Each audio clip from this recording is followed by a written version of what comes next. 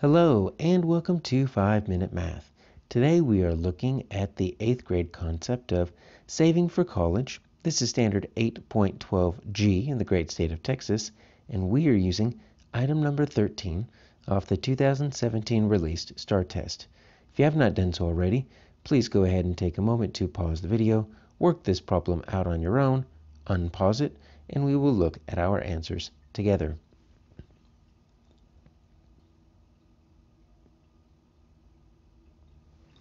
All right, so we have an eighth grade student estimating about $8,800 for tuition and fees for each year of college. All right, so about 8800 per year.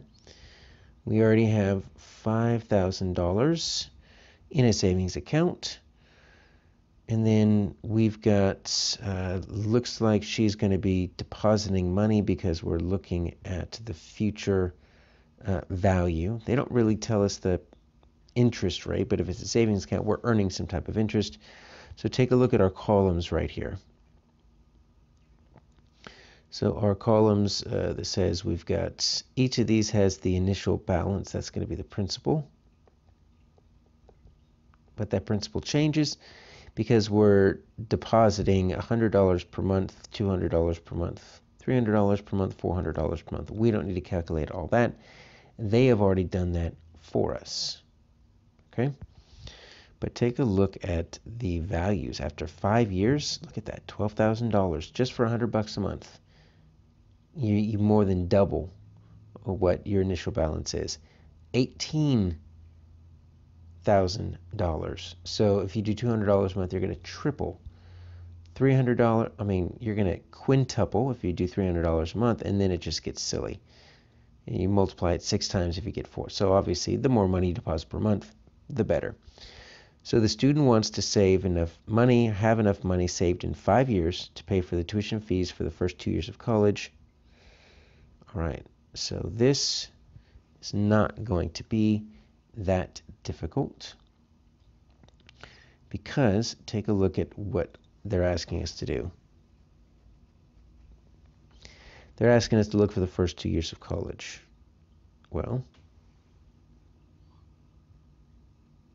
the one year of college is $8,800. So if this year one is going to be $8,800, year two is going to be $8,800. Well, we're going to bring that together and let's see how much we need for the first two years. Simply going to add it. Nothing fancy happening here. We're just going to add these two amounts. That's going to be 16, 16, 17. So I need $1,760 if that $8,800 is true. Now, 17,600, that's not an answer because it's not asking how much money would we need for the first two years. Let's go back and take a look at this question because it's going to be kind of tricky. Based on the table, what is the minimum amount she should deposit into the savings every month? Okay, where does that come from? Right here. All right, so what I need to do is I need to take my uh, 17,600 and I need to take these values right here and kind of place them on almost like a number line, right? So let's just kind of number line is. I got my 0.